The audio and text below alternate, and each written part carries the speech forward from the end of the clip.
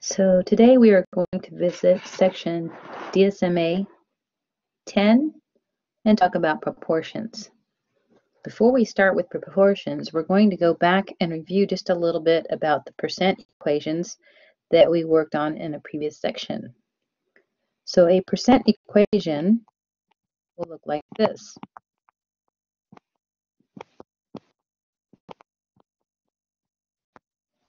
The amount is equal to the percent times the base.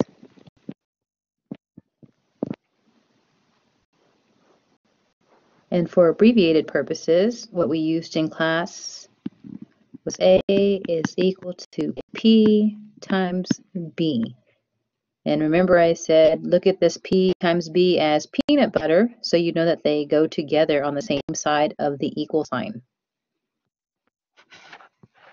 Once again, this is called the percent equation. We also reviewed the percent proportion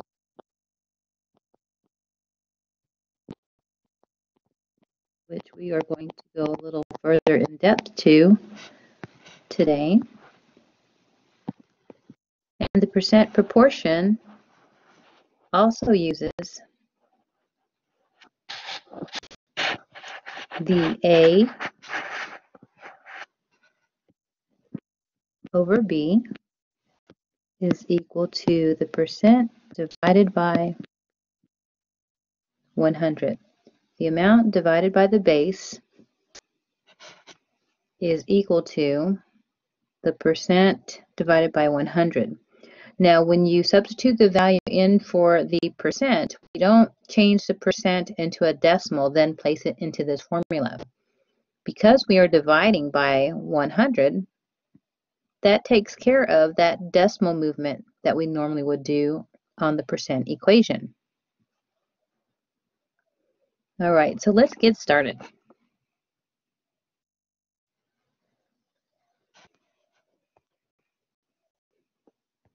Our first problem says, which equation correctly shown shows how to find the percent of the tiles that are white in a kitchen that has 2,000 um, times, or tiles, it should be tiles right here. Let's fix that. 75 of which are white. So let's read this again. Find the percent, so we're looking for P of the tiles that are white in a kitchen that has 200 tiles. So it has a total of 200 tiles. So that's going to be our base amount.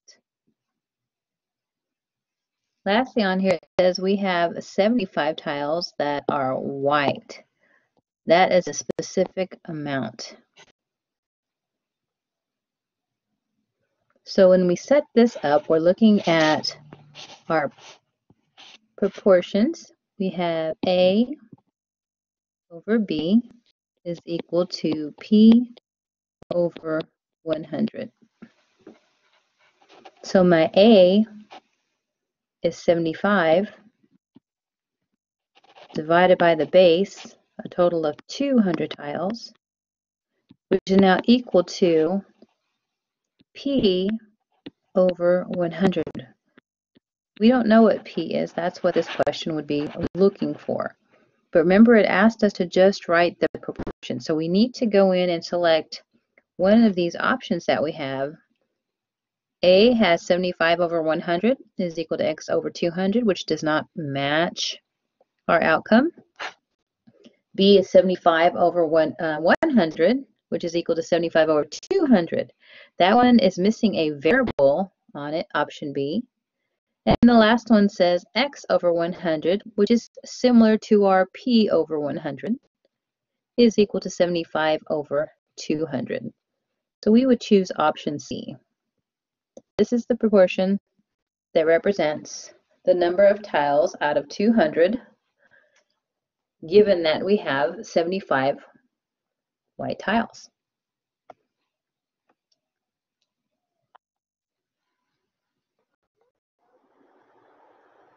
This next problem is asking us to solve. Remember, when we say solve, and this is an equation with an equal sign, your goal is to end up with x equal to a number. It says type an integer or a simplified fraction, so it is a possibility we may have a fraction as an outcome. When we work on this problem, if you remember before, we had to do what's called a cross product.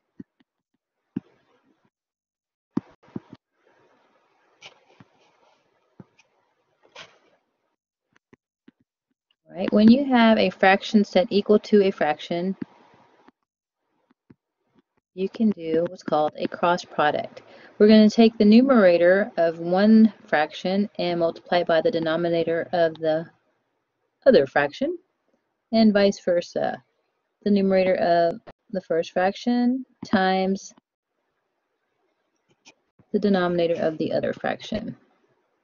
So what will that give us is 8 times 5 equals to 7 times x. This is called a cross product. Next, we'll simplify that. 8 times 5 will give us 40. This is equal to 7x.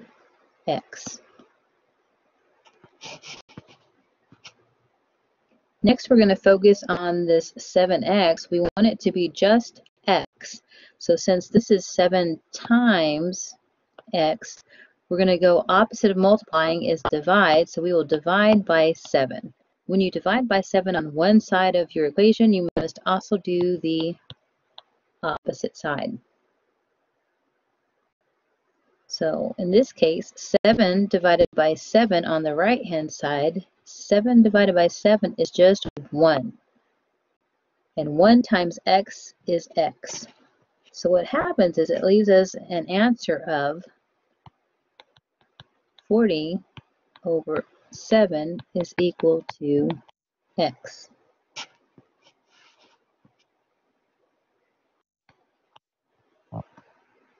And this would be our simplified fraction when we look at 40 divided by 7 it does not divide evenly. It did not ask us for a mixed number, so you will not enter a mixed number at this time.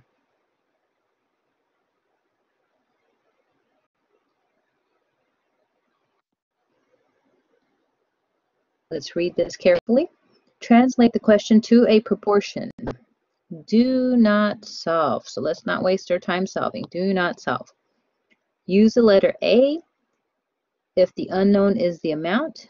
Use the letter B if the unknown is the base, and P if the unknown is a percent. So remember, we had the word is means equal, and of means to multiply. And we can identify what we have here. If you want to write a percent equation first to help you out, go right ahead. We're going to identify what we have. 32%, that is IP. Of means times. 50, remember this is peanut butter, so this must be my B. Is is equal. And what number? That's my unknown amount. That's my A. Translate the question to a proportion. So what they want us to do is to write A over B is equal to P over 100. We'll fill in what we do know. We do know, we don't know what A is, we do know what B is. B is 50, equal sign, and P is 32%. Remember, just leave off the percent symbol and the divide by 100 represents the percent symbol. And this will give you your proportion that represents this problem.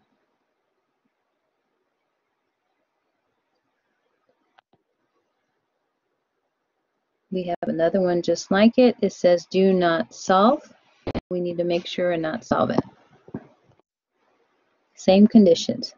What number is, is my equal, 72% of means times and they give us our peanut butter. So that means we're looking for A. Translate into proportion. A over B is equal to P over 100. We are looking for A. Let's insert my value for B, which is 182. And P is 72%. So 72 divided by 100. And this is the proportion that represents this problem.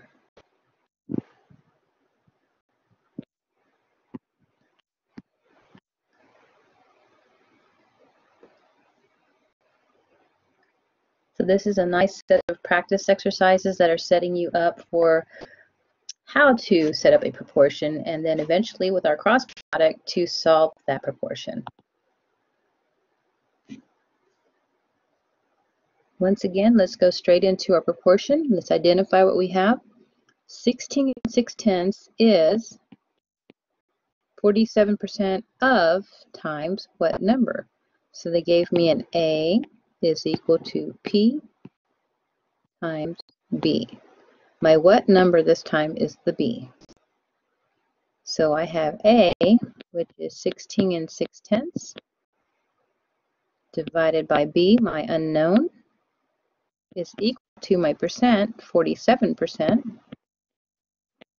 divided by 1. And then you want to be very careful to look over and read carefully and choose wisely. So we actually match D here. So have the patience to review each of the answers and select the correct one.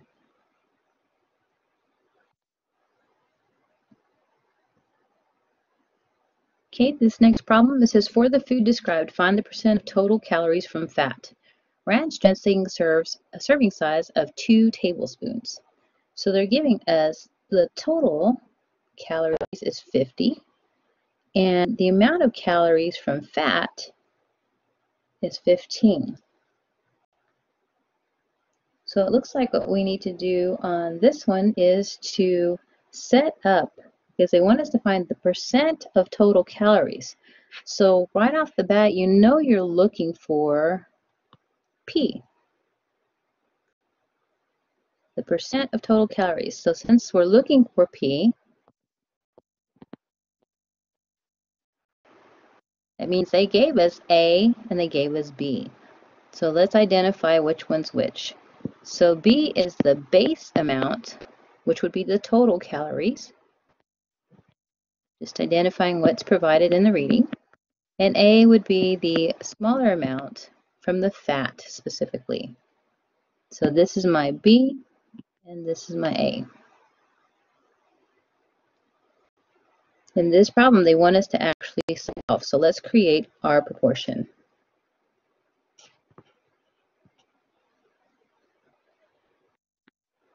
A over B is equal to P divided by 100. Because it is a proportion, we can do our cross product. We'll take this numerator, multiply it by this denominator, and the numerator of the first fraction and multiply it by the denominator of the second fraction. That will leave me with 50 times P is equal to 15 times 100 or 1,500. So 50P is equal to 1,500. Again, to solve for P, we need to get rid of that 50 that's with it.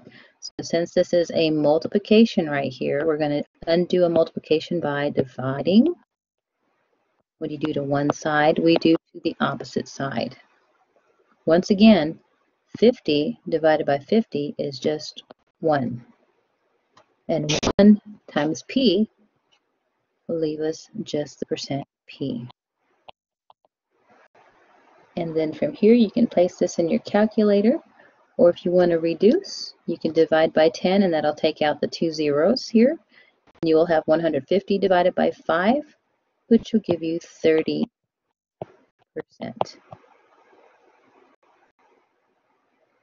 Don't forget to place your percent symbol if you're doing this and on your paper.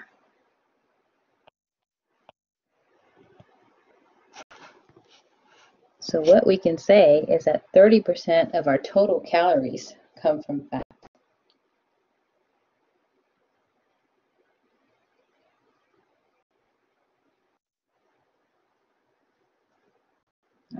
We're getting into some more application problems here. In one country, approximately 147,000 of 980,000 restaurants are pizza restaurants. That means out of a total 980,000 restaurants, 1,447,000, 147,000 is pizza restaurants. Determine the percentage. Again, we are looking for P of the restaurants in the country that are pizza restaurants. All right, so since we're finding P, they want us to find P. Let's identify what we have. So the total number of restaurants, that's going to be your base. So base is 980,000 total restaurants. The number of those that are actually pizza restaurants, 147,000.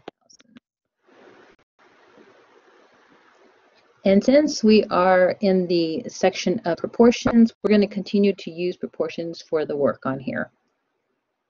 So A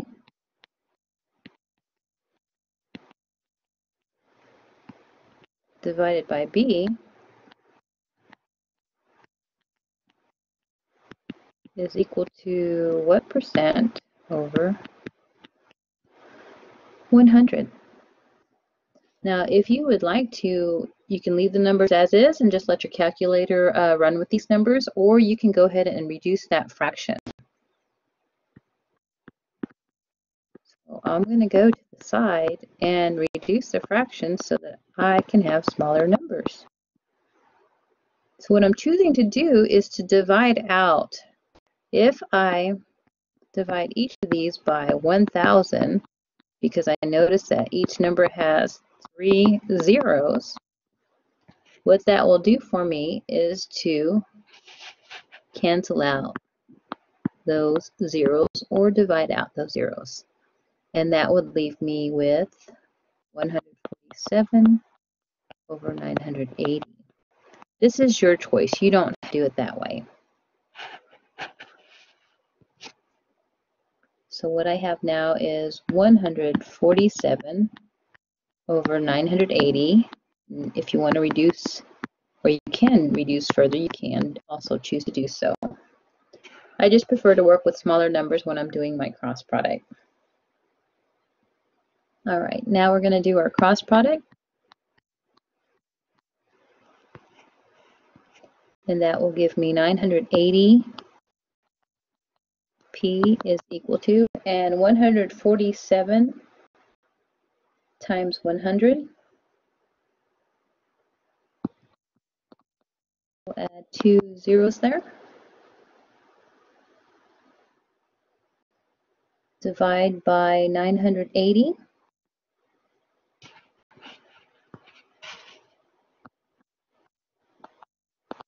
On sides of your equation.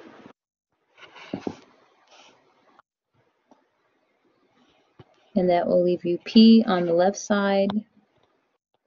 And if we place this in our calculator, it looks like we will get 15%.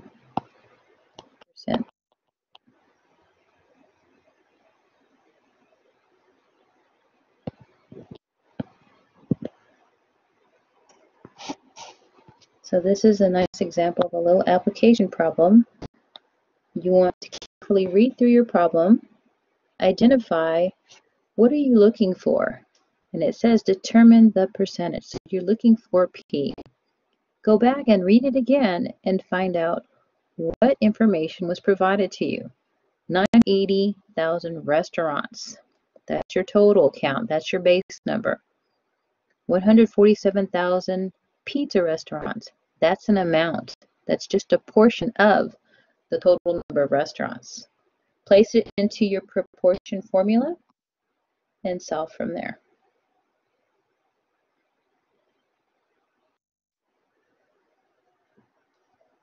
All right, our next problem says a, a 8 ounce iced tea at a certain restaurant has 72 calories.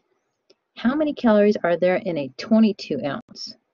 So we have an 8 ounce versus a 22 ounce. And what you can do on this one is you want to remember you can do ounces in the numerator divided by the calories. Or you can do them opposite calories first over ounces. All right, and the way I'm going to set this up is with the first size, I have 8 ounces over 72 calories, and I'm going to set that equal to the 22 ounce divided by, I don't know how many calories. That's what it's asking me is the 22 ounce iced tea has how many calories. So from here, I'll do my cross product.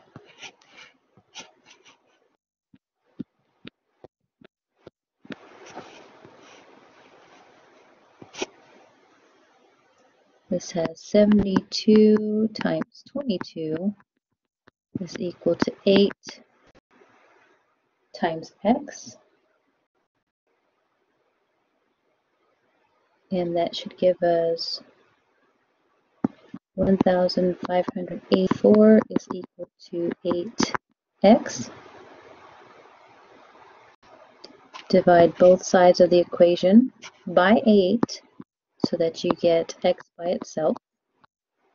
Again, 8 divided by 8 is 1.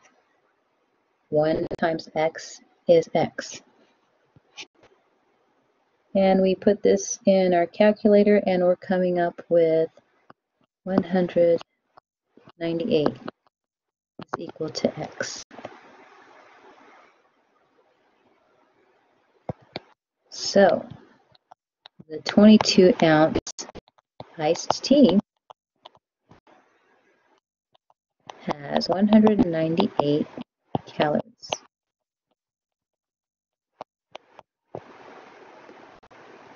So when we compare the two different sizes that's being served at this restaurant, we're going to go ahead and say that they're proportional so that you can solve for the number of calories on that 22 ounce iced tea. All right, so this is the end of our lecture for DSMA 10.